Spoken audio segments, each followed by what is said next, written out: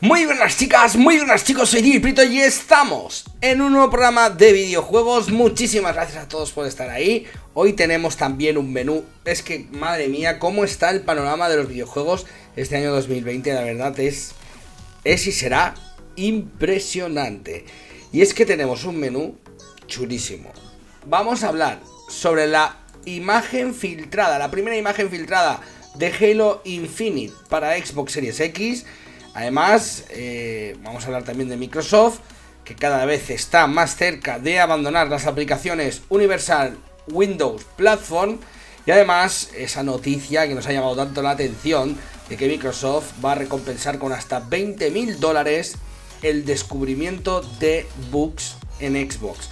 Todo ello, y si nos da tiempo un poquito más, vamos a comentar durante los próximos 10 minutos. Así que, si no me conocéis, soy DJ Prieto. Si todavía no estás suscrito, suscríbete aquí abajo para estar informado de la última hora de PlayStation 5, Xbox Series X y todo lo que está por venir en este año 2020.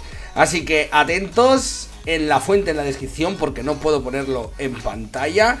Se ha filtrado eh, la primera imagen de Halo Infinite. Estamos terminando, eh, pues bueno, mm, estamos terminando de empezar el mes de febrero ya, eh, bueno, el año, estamos terminando de empezar el año, pero estamos empezando febrero y nos quedan muchos meses y muchos títulos que algunos están a punto de llegar a Xbox y otros tendremos que esperar, pero todos tenemos una fecha marcada en el calendario. Por supuesto, hablamos del lanzamiento de Xbox Series X, que llegará de la mano de Halo Infinite. Por primera vez en la historia, un Halo va a coincidir con eh, la salida de una consola de nueva generación.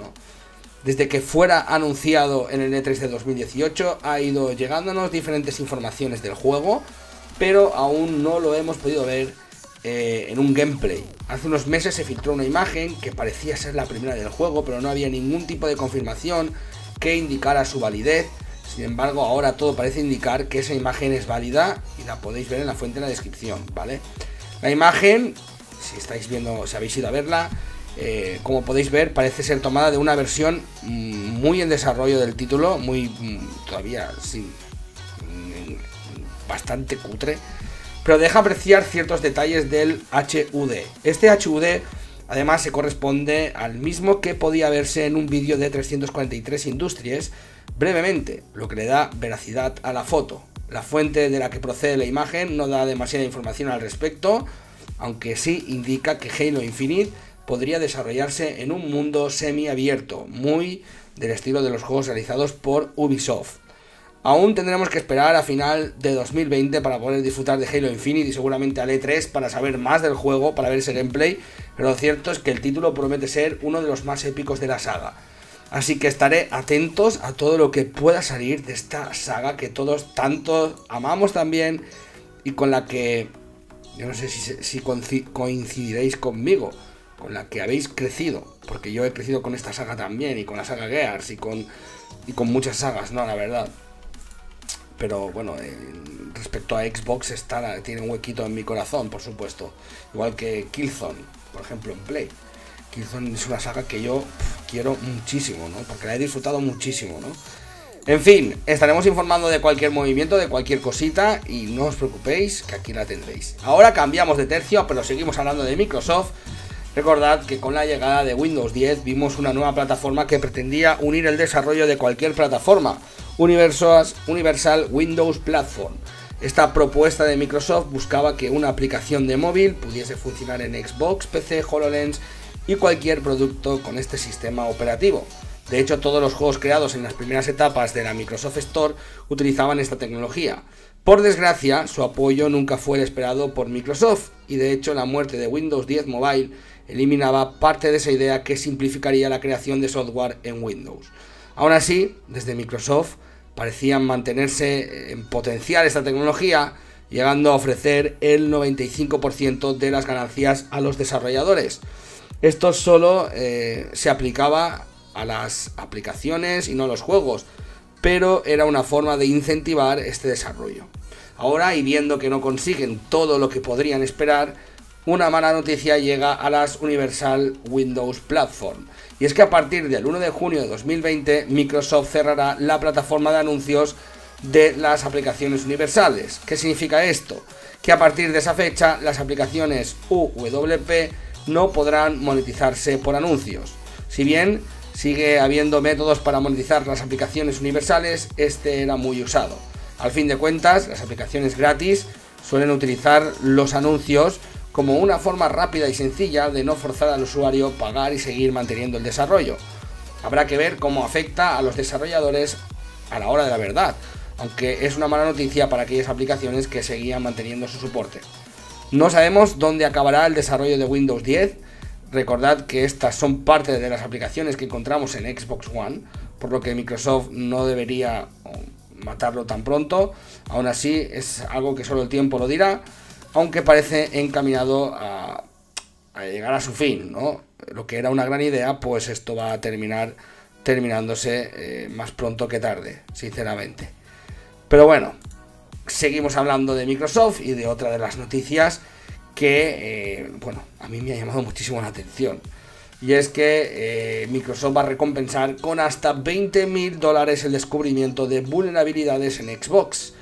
Eh, según informa la página web de Verge, bueno, han informado que Microsoft ha comenzado a recompensar a usuarios, jugadores o expertos en seguridad en el caso de que encuentren vulnerabilidades en Xbox Live. La cifra va desde los 500 dólares hasta los 20.000 dólares en el caso de explicaciones trabajadas, detalladas y que representen un verdadero peligro. Cuanto más grave sea el bug o el error, más pagan. Eh, aún así, no es un límite, porque podría ser una cifra aún mayor. Sin embargo, no penséis que es algo sencillo, no vale con ataques de DOS o errores simples de la consola, sino problemas de ejecución de aplicaciones donde los datos del usuario estén realmente comprometidos. Recordad que en este artículo de Verge también llama la atención de que Nintendo ya ofrecía recompensas similares por encontrar exploits en sus sistemas, algo que seguramente le haya beneficiado de cara a evitar esos temidos pirateos y como anécdota, Sony parece solo recompensar con una camiseta como reconocimiento. Microsoft parece estar preparándose para una nueva cantidad ingente de usuarios y de posibles problemas que pueda surgir con la nueva Xbox Series X y sobre todo con Project Cloud, que eh, ejecutado desde los dispositivos móviles podría causar vulnerabilidades pues todavía más peligrosas si cabe para los usuarios Así que ya lo sabéis, si tenéis conocimientos de este tipo y ya lo habéis intentado alguna vez, pues Microsoft ofrece una nueva manera de recompensar vuestra curiosidad y si sois buenos en esto, pues, pues podéis sacar una pasta bastante bonita, ¿no? Sinceramente. Y para finalizar con toda la información de Microsoft y Xbox One, vamos a hablar sobre una nueva noticia y es que Microsoft continuará llegando, haciendo llegar nuevas características y mejoras a la consola de Xbox One eh, aunque estas, como siempre, pasarán primera por los testers suscritos al programa Xbox Insider. En el blog oficial, la compañía americana ha presentado algunas de las novedades, lo podéis ver en la fuente de la descripción, que eh, van a presentar, que se podrán probar en febrero, durante este mes, antes de que se pongan en manos del público en marzo. La protagonista de esta ocasión es la nueva interfaz del menú Home, más simple, más directa que nunca, y va a apostar por una experiencia muy personalizada, suprimiendo accesos innecesarios de la parte superior y centrándose en nuestros juegos y aplicaciones preferidas, seguidas de líneas y columnas modificables para acceder a la tienda, el menú de Xbox Game Pass, Mixer o al contenido de la comunidad que, tengan los rasgos más representativos de la consola. Eh, por otro lado, eh, nuestra biblioteca simplificará el menú de opciones y va a añadir etiquetas a programas de juegos y betas y nos va a ayudar a gestionar el contenido. Si estamos pensando en hacer hueco a un nuevo videojuego en el disco duro, entonces podemos hacer uso de la nueva herramienta que nos sugiere qué contenidos pesan más y nos ofrecerá la posibilidad de mover esos contenidos a un disco duro externo si preferimos esa opción. Además también nos brindará la posibilidad de elegir en qué parte de la pantalla queremos recibir nuestras notificaciones. En el tema social, Microsoft también presenta algunas novedades. Ahora podremos reproducir imágenes o GIFs, como ya os informé, enviados desde nuestro móvil o la aplicación de Windows 10 desde las conversaciones con amigos en Xbox One e incluso expandirlas en pantalla completa si lo nuestro es el streaming. Nos gustará saber que la consola va a permitir ver grabaciones previas de un creador de contenido e incluso establecer una resolución preferida para los vídeos. Como suele ocurrir en estos casos, la lista de nuevas características excluye algunas novedades que se mantendrán en secreto y llegarán a un volumen muy reducido de insiders, por lo que habrá que mantener, eh, pues bueno, todo el secreto. Muchísimas gracias a todos por estar ahí. Seguimos informando y nos vemos en la siguiente. Hasta la próxima. Chao. Subscribe, motherfucker.